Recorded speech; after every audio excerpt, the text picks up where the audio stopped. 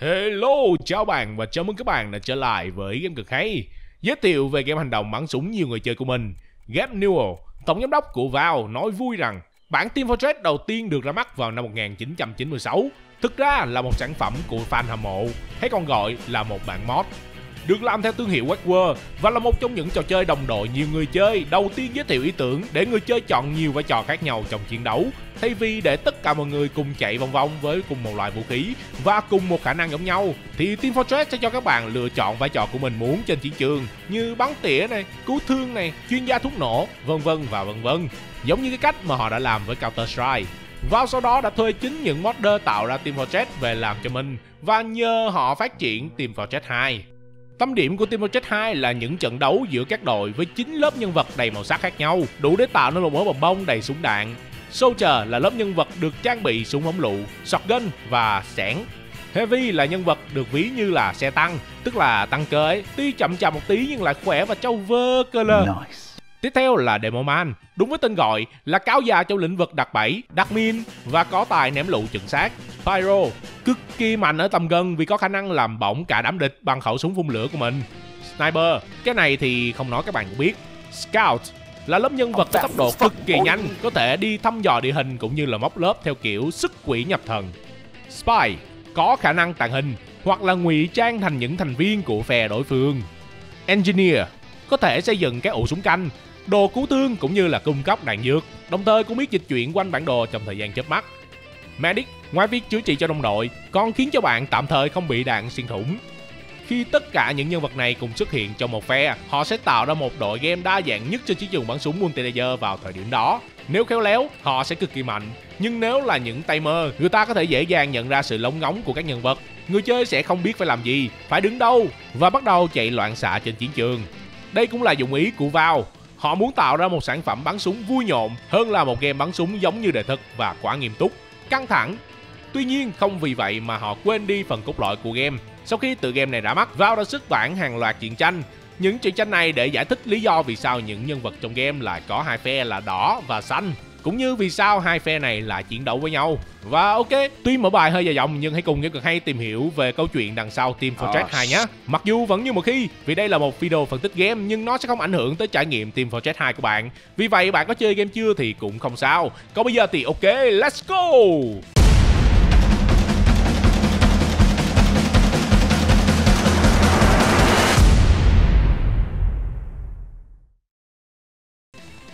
Vào thế kỷ 19, có một nhà quý tộc người Anh tên gọi là Jeffenia Mann. Ông ta là chủ nhân và là người điều hành của tập đoàn Mann Corp. Tập đoàn này chuyên sản xuất và kinh doanh vũ khí.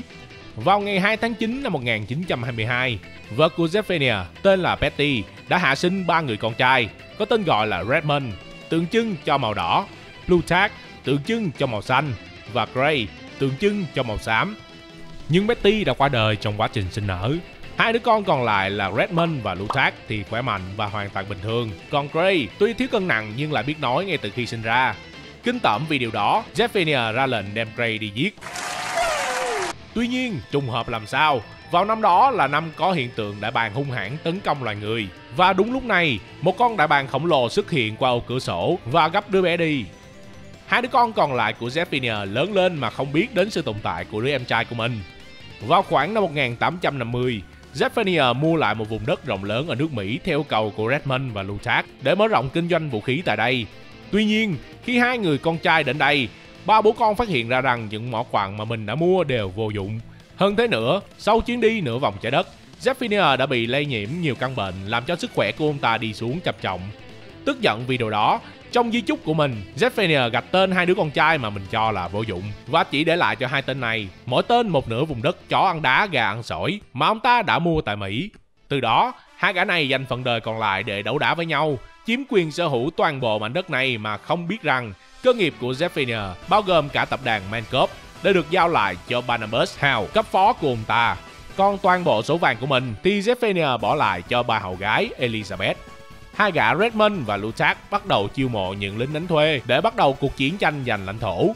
Cuộc đấu nổ ra với những nhân vật cực kỳ nổi tiếng đã được mời về như Billy the Kid, Stonewall Jackson, Abraham Lincoln, Alfred Noble, John Henry, Nikola Tesla, Sigmund Freud, Davy Crockett và Fu Manchu. 40 năm trôi qua, nghĩa là khoảng vào năm 1890, hai anh em Red và Blue đã gần đất xa trời nhưng vẫn chưa ngừng đấu đá với nhau. Khi thấy mình sắp chết, Plutarch nhờ một nhà phát minh có tên gọi là Radigan Conager để giúp hắn xây dựng một cỗ máy giúp hắn có thể kéo dài tuổi thọ.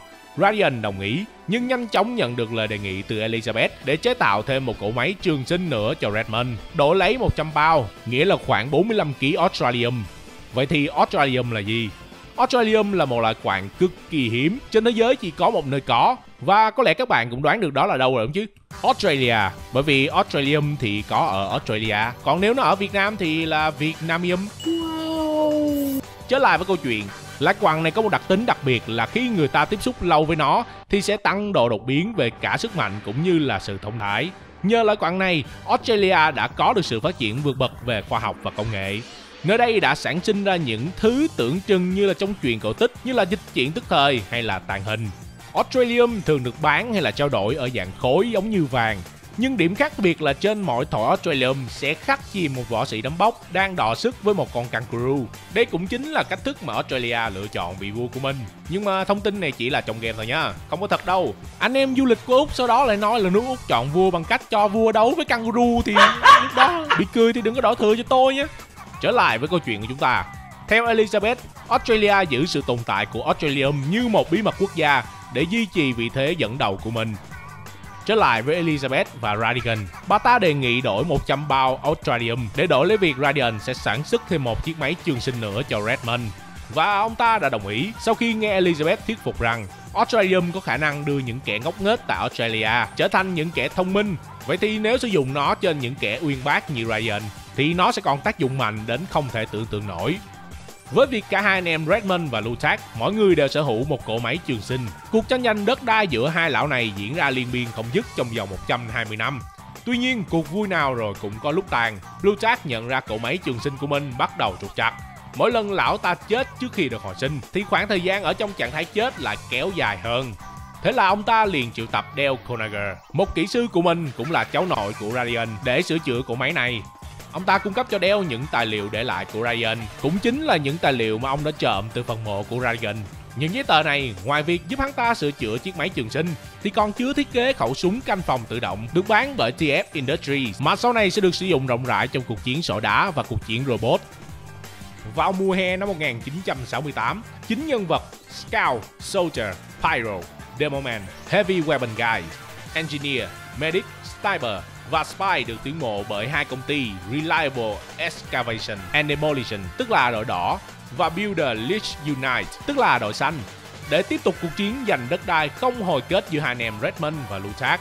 Elizabeth và Barnabas Hale đã chết từ lâu bởi vì các bạn nên nhớ rằng hai người này không có máy trường sinh. Cơ nghiệp của họ được tiếp nối bởi những người còn cháu. Helen là cháu của Elizabeth sẽ tiếp tục làm nhiệm vụ đứng sau quan sát cuộc chiến xảy ra giữa chính gã lính đánh thuê cũng như quản lý hộ công ty cho hai gã Red và Blue. Còn Saturn Hell, tức là cháu nội của Barnabas Hell, thì quản lý công ty vũ khí Mancorp. Nếu các bạn để ý thì có một chi tiết khá thú vị là Helen luôn luôn mặc quần áo màu tím.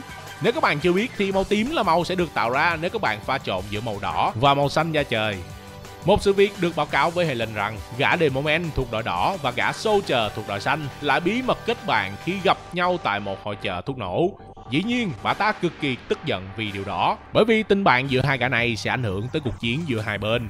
Thậm chí có thể làm lộ ra thân phận thật sự của bà ta và Satan Hell. Thế là Helen liền sử dụng kế ly gián khi giao nhiệm vụ cho Soldier và Demoman giết lẫn nhau.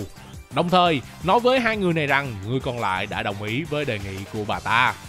Và bà ta đã đạt được mục đích khi cuộc giao chiến trên chiến trường xảy ra giữa Soldier và Demoman khiến cho xung đột giữa hai phe đỏ và xanh càng thêm sâu sắc. Vào năm 1971, hai anh em Redmond và Lutak có một cuộc hẹn bí mật tại vùng đất hoang mạc. Cả hai mất trí khi quyết định thỏa thuận đình chiến vì một mục tiêu muốn cuốn rỗi dòng họ Man. Bởi vì cả hai lão đã già rồi và cũng rất muốn có con cháu để nói dõi tòng đường, nên đã rất xúc động khi đối thủ gửi thư cầu hòa đẫm nước mắt tới cho mình. Lúc này, Gray, tức là người em út mà cả hai lão đều không hề biết đến, bỗng nhiên xuất hiện. Gray cho biết rằng chính hắn đã đứng ra để gửi thư cầu hòa cho cả hai. Nếu các bạn còn nhớ thì Dragon Conacher xưa kia được Elizabeth yêu cầu sản xuất không chỉ hai mà là ba cỗ máy trường sinh và cỗ máy thứ ba chính là dành cho Gray. Chúng ta hãy cùng nói về Gray một chút nhé. Gã em trai này lúc mới sinh ra bị đại bàng gấp đi, nhưng rất may là cậu đã không chết, mà đã được chính con đại bàng đỏ nuôi dưỡng như con của nó. Và cho đến ngày đủ khôn lớn, đủ lông đủ cánh, thì Gray quyết định ăn thịt cả nhà con đại bàng trước khi trở về nhà với loài người. Gã nuôi niềm căm hận với hai người anh bất tài của mình khi hai gã anh trai ngậm thìa vàng đều bị cuốn vào một cuộc chiến tranh giành một nhúm đất vô giá trị, trong khi gã phải vật lộn để xây dựng đế chế cho riêng mình từ con số 0. Sau khi thuyết phục được hai người anh trai của mình cùng hướng tới việc chiếm lại quyền sở hữu của Mancop, lúc này đang thuộc về sở hữu của Satan Hell. Nhưng không may, Ray đã không thành công. Thế là ông tức giận cầm dao đâm chết hai người anh trai của mình và vô tình kết thúc luôn cuộc chiến sỏi đá.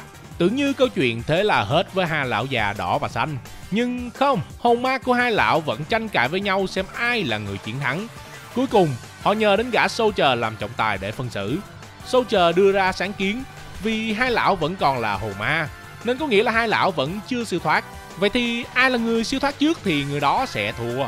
Thế là Redmond và Lutak lại vội vàng gọi điện yêu cầu những gã lính đánh thuê của mình đến lấy xác của đối thủ và đẩy xuống miệng hố thông đến địa ngục. Tuy nhiên, khi một trong hai đội đẩy thành công thì cả hai sẽ bị kéo xuống địa ngục cùng với hai lão và phải tìm được quyển sách phép để trở lại mặt đất. Ba ngày sau khi hạ sát được hai oanh yêu quý, Gray bắt đầu cuộc tấn công chiếm lại tập đoàn Mancop bằng cách sử dụng một binh đoàn robot tấn công các nhà máy của tập đoàn này, lúc này đang thuộc sở hữu của Satan Hell. Lại nói về Satan, ông ta là cháu của Barnabas Hell, người thừa hưởng công ty do Zephania để lại. Không những vậy, ông ta cũng thừa hưởng máu phiêu lưu mạo hiểm của ông nội mình. Sở thích của ông ta bao gồm thám hiểm những vùng đất lạ, cho tới việc đi làm bằng trực thăng. Nhưng mà trực thăng này nó không đáp xuống đâu nha. Ông ta sẽ nhảy thẳng từ trực thăng vào phòng làm việc của mình qua cửa sổ. Khi nghe tin đội quân robot của Gray tấn công, Satan đang bận đánh vật với người Tiết Yeti trong một chuyến đi du lịch nên không có thời gian trực tiếp xử lý.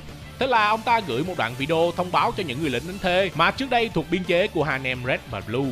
Trong đoạn video đó, ông ta thông báo rằng ông chủ của họ đã chết nên những hợp đồng đánh thuê mà họ đã ký đã hết hiệu lực. Satan giờ là chủ mới của họ và nhiệm vụ đầu tiên mà ông ta giao cho họ chính là xử lý đám robot của Gray. Tuy nhiên, Satan không trả tiền cho những lính đánh thuê này, nhưng cho biết rằng những con robot của Gray hoạt động bằng tiền.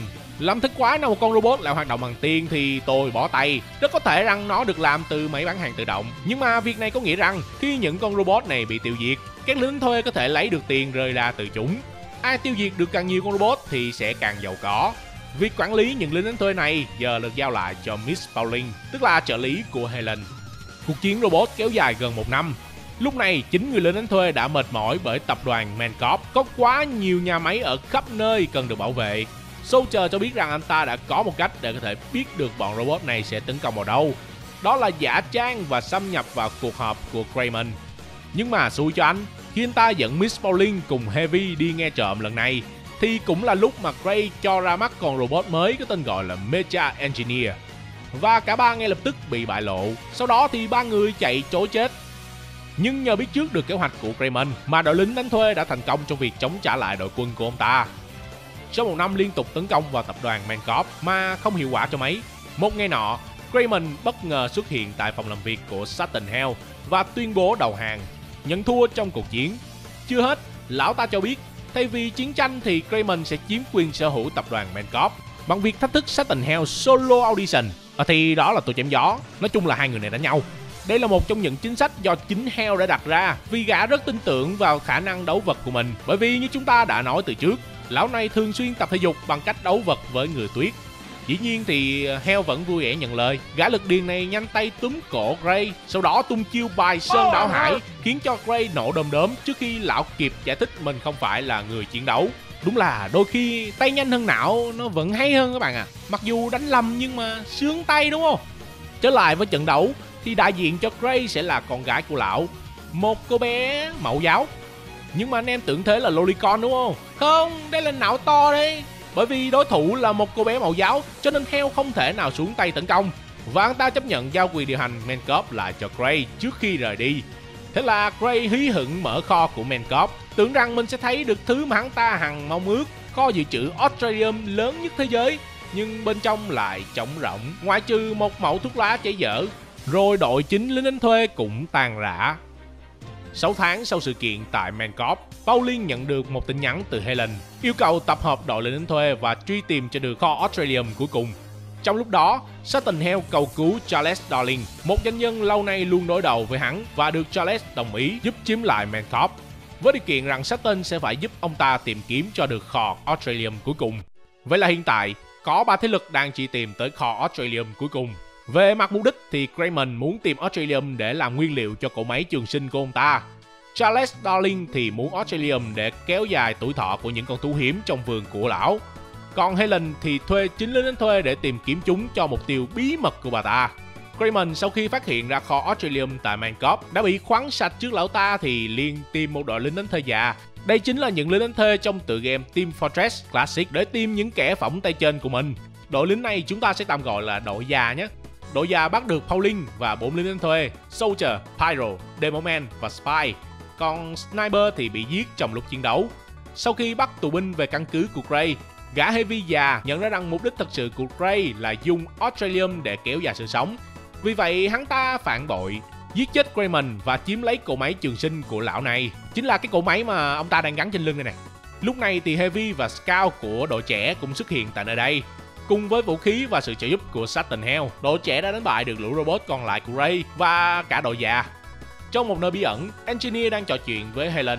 Bà ta cũng có một cỗ máy trường sinh và đang cực kỳ cần Australium để tiếp tục sống bởi vì lượng dự trữ chỉ đủ cho bà ta sống thêm vài tháng nữa mà thôi. Dựa vào điều này, chúng ta có thể đoán được Helen không phải là cháu mà chính là Elizabeth. Đến đây thì câu chuyện cũng tạm khép lại với cảnh Helen sử dụng tất cả số Australium dự trữ của mình để biến diện mạo già nua của bà ta trở thành một quý bà, với quyết tâm kết thúc kế hoạch mà bà ta đã theo đuổi từ khi còn là một đứa bé. Kế hoạch của Helen, hay nói chính xác hơn là Elizabeth là gì? Điều này chúng ta vẫn chưa có lời giải đáp, bởi đến thời điểm hiện tại thì đã hơn 3 năm nhưng chương cuối của bộ truyện tranh vẫn chưa được vào công bố. Họ đang đợi thời cơ chín mùi chăng? Đợi Hapla ba chuẩn bị ra mắt chăng? Có lẽ điều này không ai biết cả, kể cả vào. Cho nên chúng ta phải tạm hài lòng với việc biết được nguồn gốc của hai đội xanh và đỏ, cũng như là lý do tại sao họ đánh nhau ở nhỏ đá đó. Bởi vì chúng ta không hài lòng thì cũng có làm gì được đâu. Hepline 3 còn không biết khi nào ra kia kìa. Nhưng mà nếu thấy video này hay thì đừng quên like, share và nhấn nút đăng ký kênh để xem những video tiếp theo của game cực hay. Còn bây giờ thì chào tạm biệt và hẹn gặp lại các bạn ở những video sau.